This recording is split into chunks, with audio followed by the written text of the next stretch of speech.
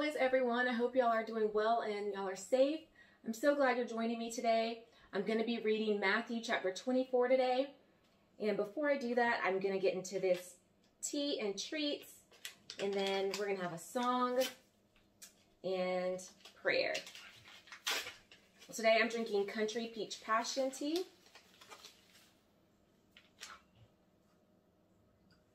And to pair with that, I have ginger snaps over here.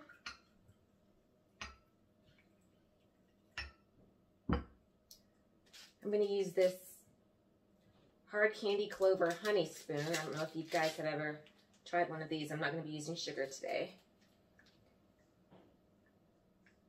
I'm just going to let this honey spoon dissolve in here. All right, the benefits of this Country Peach Passion Tea is that it's great for bones and teeth. It boosts immunity. It's good for detoxification and cardiac health. Dear gracious Heavenly Father, I thank you for this drink and food, for the health and nourishment of my body for Christ's sake. I ask that your Holy Spirit fill me with wisdom and understanding as I'm refreshed by your word. In Jesus' precious name I pray. Amen.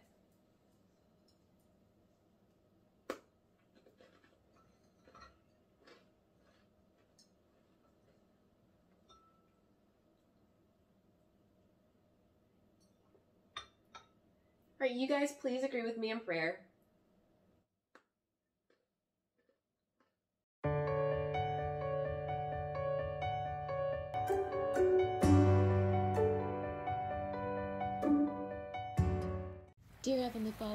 You for who you are. I thank you for being our light in the darkness, our promise keeper. I claim your promise in Jeremiah 30, 17, which says, But I will restore you to health and heal your wounds, declares the Lord. I lift up to you Tamara Tamara. Her back has been hurting and she feels a pinching on her spine. Lord, I ask that you would give her relief from everywhere she is experiencing pain and let anything that is not of you fall off of her right now, God. I bind up anything that has come against her body in the name of Jesus and release supernatural health to her being right now, Lord. I pray for one virtuous woman. I ask you would protect her, her family, and her house with all the wildfires that are going on out there all around her, Lord. Give her peace of mind and let her know that everything's going to be okay. I lift it to you, Mr. P. Era. He's seeing a shoulder specialist and he's starting physical therapy on his shoulder, hopefully in the coming week. If it's not better in a month, then he's going to um, have to get surgery. So I just pray that everything would go okay and according to your will, Lord, um, with his shoulder pain and anywhere that he's experiencing pain, Lord, I pray that you would touch, heal, and deliver him right now, Lord. I lift up to you Destiny Awaits Me, who's experiencing swelling and fatigue due to a vitamin D deficiency and thyroid issue. I pray that when she has her next appointment to see the endocrinologist, that they would be able to work all things out for her good. I release energy to her being right now in the mighty name of Jesus. I ask that you cover her family, bind any wounds, cure any diseases. I thank you that you are the perfect physician, Lord. Release supernatural help to her right now, God. I lift up to you those on the street Bar, Thomas, Sheila, Vincent, Alton, Raphael, Will, Golden, Willie, Jarman, TJ, Joshua, and Israel, and anyone that we met and came in contact with out there, Lord. I pray that you would meet their needs, Lord. I also pray that you would protect us as we go out and spread the gospel for you, God. Help us to bring people to salvation, to have a true personal relationship with you. Suit us up for battle and put on us your full armor, God. Allow nothing to touch us, Father God. I pray that no evil spirit will use us as a medium or gateway to make itself into our communities, into our homes, Lord. I pray that they would see your light shine so bright in us and run. I pray for people to yield to you in this season, Lord. Mold them and make them after your will. Take what's broken and make it new, Father. I pray for our leaders. I ask that you would bring corrupt governments down, and I pray that you would establish righteousness and truth in our leaders. I pray for children and families and nations all around the world where there is violence going on. Lord, in a world filled with so much chaos and heartache, injustice, and pain, I pray that they would know how much you care, Lord. I pray against misery and depression. I pray that you would give them a hope and a peace. I lift up to you Haiti. I pray for all the families of those who lost their lives. or wounded and involved in the earthquake, all those who lost their homes, I pray that they would know and feel that you see them, Lord. Help them to see how much you care and are concerned. Wrap your arms around the nation and release your angels to be with all those who need comfort now, God. I pray that they would get all the help and funds that they need, Lord. Send them aid and assistance that they need during this devastating time. Allow your comfort to overtake them. I pray for India that there will be more people to come to know you.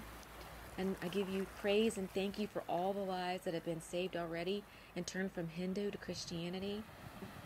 I pray for all the desperate Afghans attempting to escape Kabul to flee the Taliban. We're watching a country fall apart before our eyes, Lord. I pray for our prayer warriors to rise up and pray like never before.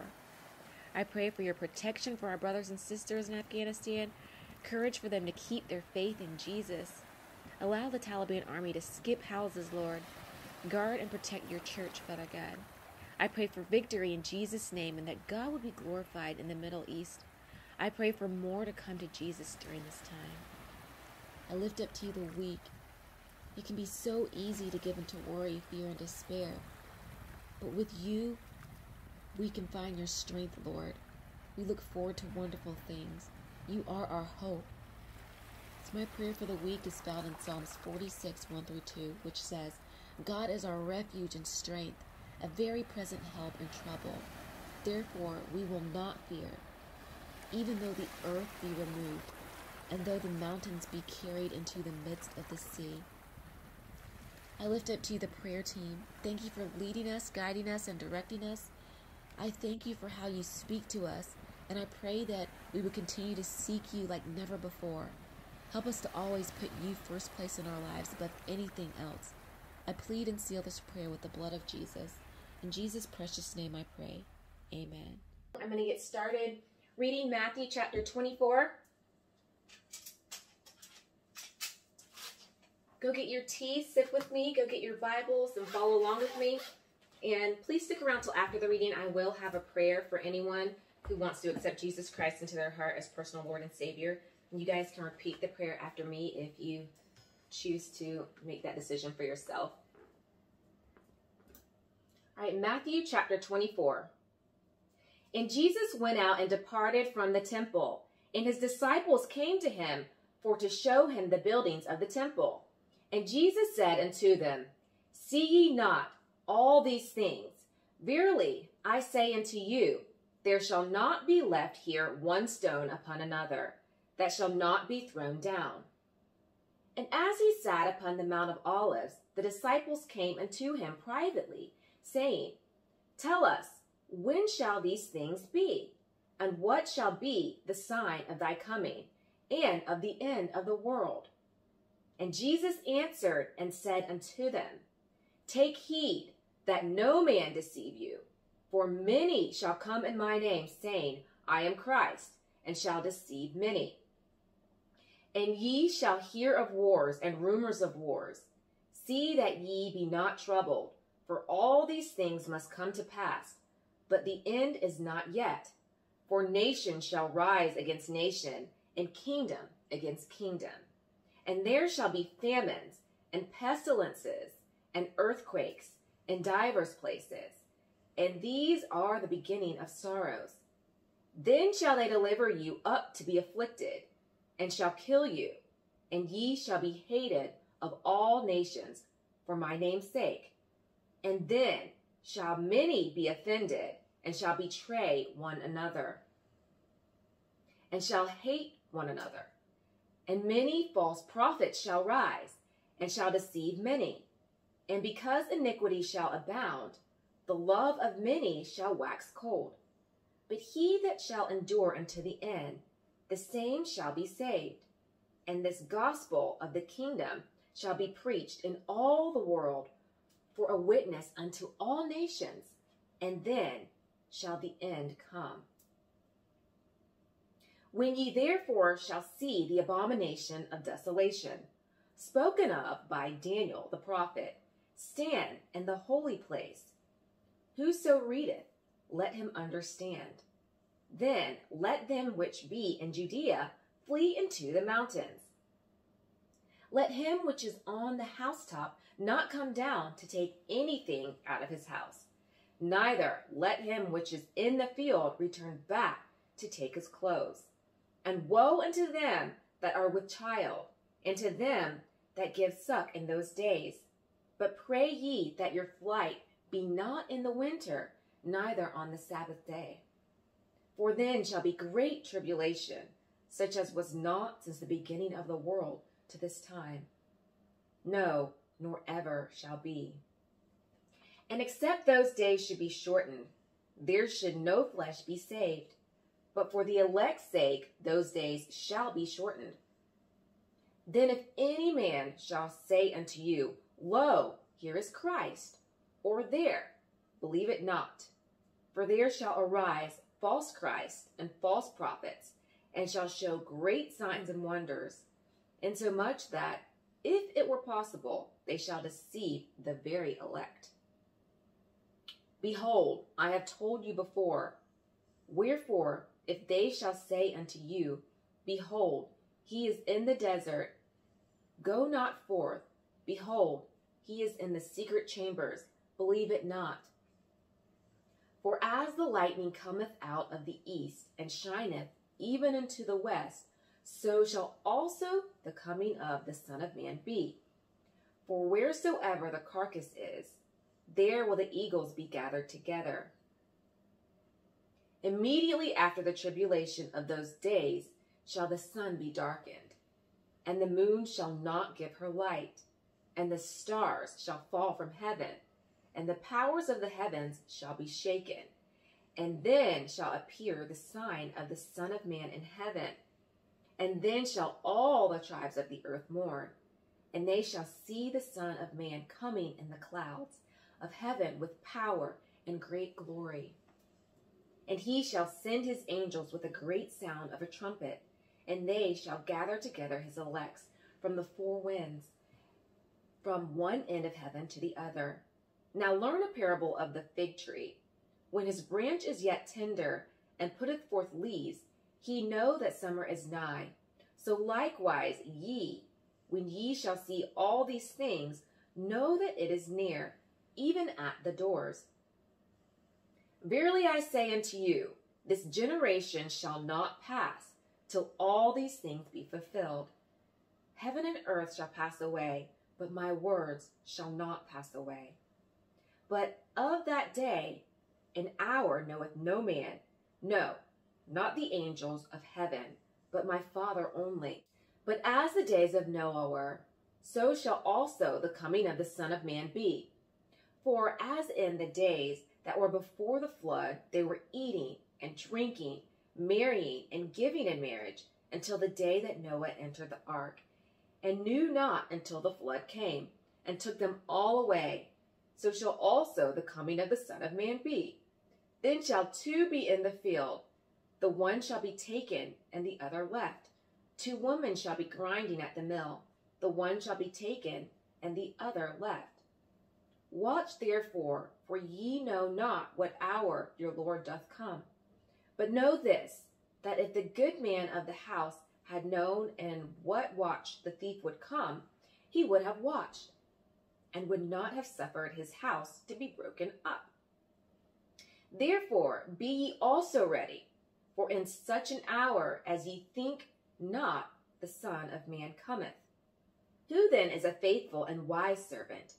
whom his Lord hath made ruler over his household, to give them meat in due season. Blessed is that servant whom the Lord, when he cometh, shall find so doing. Verily I say unto you, that he shall make him ruler over all his goods. But and if that evil servant shall say in his heart, My Lord delayeth his coming, and shall begin to smite his fellow servants, and to eat and drink with the drunken, the Lord of that servant shall come in a day when he looketh not for him, and in an hour that he is not aware of, and shall cut him asunder, and appoint him his portion with the hypocrites. There shall be weeping and gnashing of teeth. Well, this is certainly a great reminder that we have got to be ready for the return of Christ. And I want to pinpoint Matthew chapter 24, verse 5, which says, For many will come in my name, saying, I am the Christ, and will deceive many. And there have always been many deceivers in the church, and they're trying to take us away from that personal relationship with Jesus Christ into religious bondage.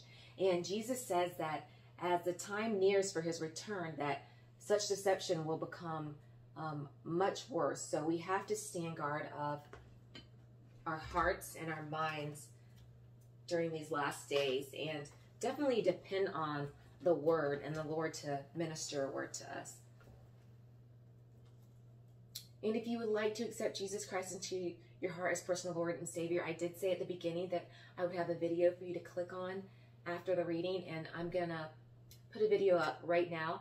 And just remember, it's all about the belief in the prayer and having that personal relationship with Christ and wanting to seek Him with all your heart, soul, mind, and strength. If you would like to make that decision now and put Christ first, even if you are already saved and just want to rededicate your life to Christ and say, Lord, I choose to put you first place in my life. I want to rededicate my life to you and come back to you. Would you please repeat this prayer after me? Just click on this video right here, pray the prayer after me, and let me know that you've done so. And we can talk about that next steps you should take to grow in your faith and walk with the Lord.